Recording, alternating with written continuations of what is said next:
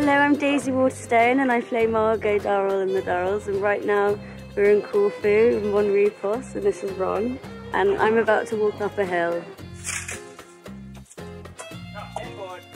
This is a scene in which uh, Daisy is going to go and visit the Countess. We're actually only using the exterior, which is why I don't really know what's inside, but it is beautiful.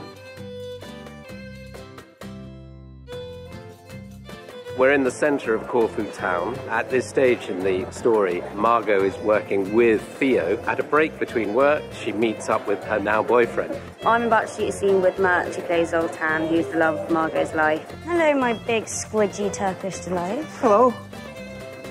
How big? What are they? Flowers.